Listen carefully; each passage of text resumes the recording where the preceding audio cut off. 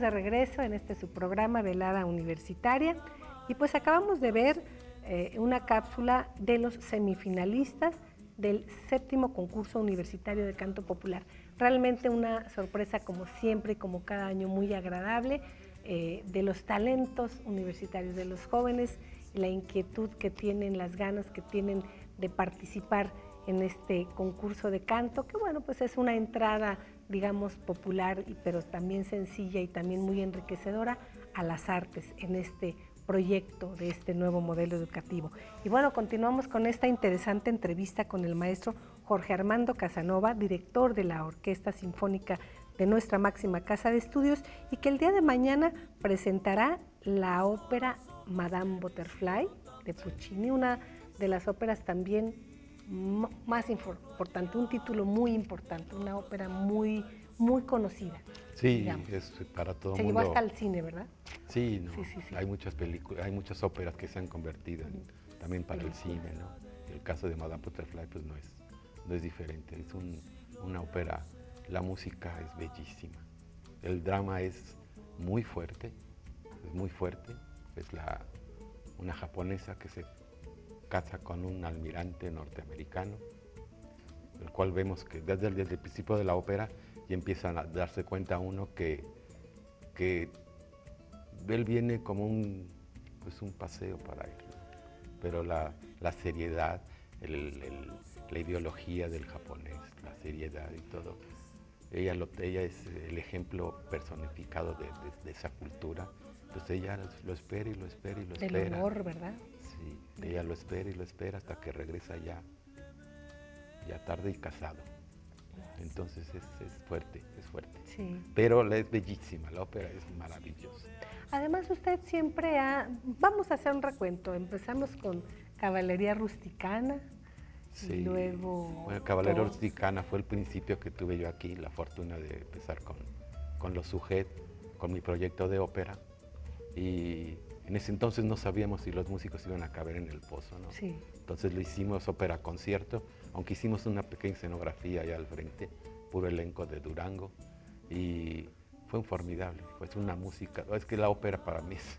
No, es un espectáculo maravilloso. Además de que era pequeña, era una como introducir al, a Durango en, el mundo de la ópera, ¿no? Es un título pequeño que dura una hora y cachito, ¿no? Sí, porque también a veces es difícil que la gente se anime a acceder cuando son programas de cuatro horas, pero bueno, los hay, los hay. No lo hay. Está el anillo de los nivelungos que dura cuatro días, ¿no? Entonces, este, cuatro funciones te tocan en Bayreuth, en Alemania, ¿no? En el teatro principal de Wagner, donde presentan el, anillo de los nivelungos y es este, cuatro días hay que ir allá, porque son cuatro horas, cuatro horas cada día. Entonces, para no hacer una, una presentación de todo el día de 16 horas, lo dividen en cuatro días. Y luego, bueno, luego vino la Tosca. Sí, luego ya con el, con el apoyo del Forca en ese entonces hicimos una Tosca maravillosa, una ópera también muy bella, también Puccini, ¿no? O sea, Puccini, es, llega al corazón porque llega, ¿no? Con solistas que necesitaban ser, requiere para solistas muy eh, experimentados para poder hacer un título como Tosca, ¿no?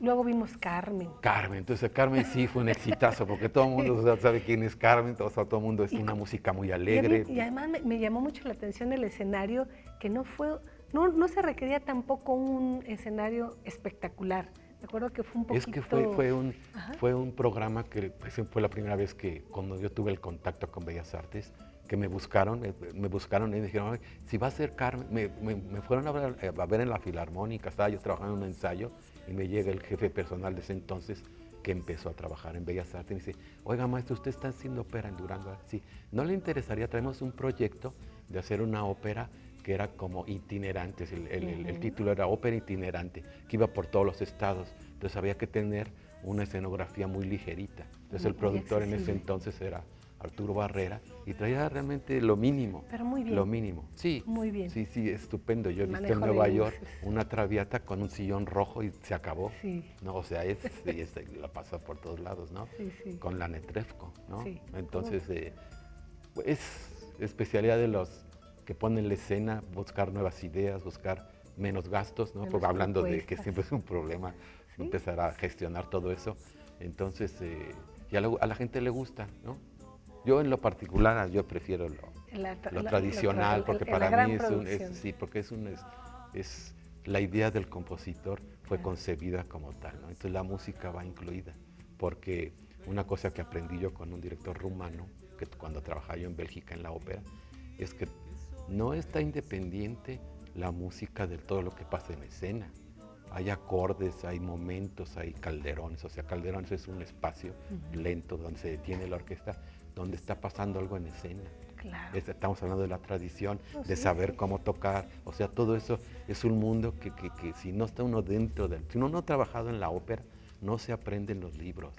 Eso es una experiencia de vivir con cantantes que, que saben la tradición, que saben dónde parar no los cantantes que se paran porque atraparon la nota y son felices y, se expanden, no, sino una tradición donde aquí hay que detener, aquí hay que adelantar, aquí la orquesta tiene que esperar, detener a la orquesta. es un trabajo maravilloso. Además, usted siempre ha promovido que, que participen alumnos de la Escuela Superior de Música y, por supuesto, nuestra orquesta, pero jóvenes que van empezando que tengan también papeles dentro del reparto, este, bueno, donde viene gente normalmente de fuera, pero también les le ha dado la oportunidad a jóvenes que van comenzando. Pues eso se trata, también se trata de eso, de empezar a formar gente, cantantes, de, motivarlos, de darles la oportunidad a que, a que tengan el, pues el susto, yo diría, de poderse en, escena y de, no, porque nada más en la escuela pues aprendemos la técnica, aprendemos las áreas y todo, pero el, moverse en escena, el tener que batallar con, viendo al director, porque no es lo que yo quiera, sino tengo a alguien que me está marcando los tiempos, entonces tengo que, todo eso es un aprendizaje que obviamente hemos incluido a agentes de a estudiantes de Durango, también a maestros de la Escuela Nacional de Música. La Bohemia fue totalmente puro elenco de Durango y, este, y esta ocasión también obviamente hay gentes de Durango. Pues ahí está. ¿Cómo se nos fue rápido el tiempo con este tema tan bonito y tan interesante que no se lo deben de perder? Mañana en el Teatro Ricardo Castro, la ópera Madame Butterfly con la Orquesta Sinfónica de la Universidad Juárez del Estado de Durango y pues eh, agradecerle mucho y felicitarlo nuevamente y felicitarnos por tenerlo con nosotros, maestro, y este y con nuestra orquesta. Pues ya nos vamos, vamos a disfrutar de la música de Carlos Andrés Monreal Rosales y en, en su tema Cascada, es un, tema instrumental de la Escuela Superior de Música. Nosotros nos despedimos, agradecemos a nuestro rector, el maestro Oscar Erasmo García, el apoyo a estos proyectos de difusión, al licenciado Rolando Ramírez McLean, director de TV a su equipo técnico, en la Dirección de Difusión Cultural a la licenciada Jacqueline Ávila Flores, productora de este programa, y por supuesto a usted que nos favorece con sintonizarnos aquí en su televisión cada jueves en Velada Universitaria. Le deseamos lo mejor, que la siga pasando muy bien. Buenas noches.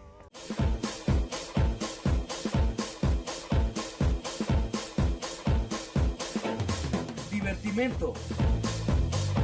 Espacio Artístico Cultural.